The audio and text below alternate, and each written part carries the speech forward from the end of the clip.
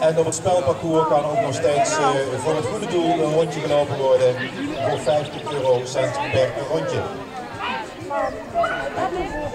Oh, hij is geluid, hij koud.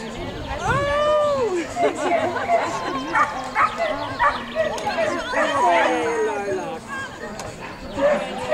Netjes.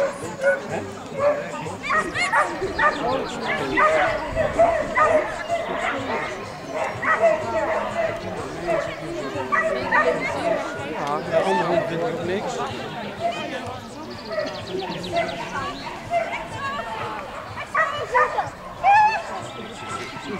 Ja!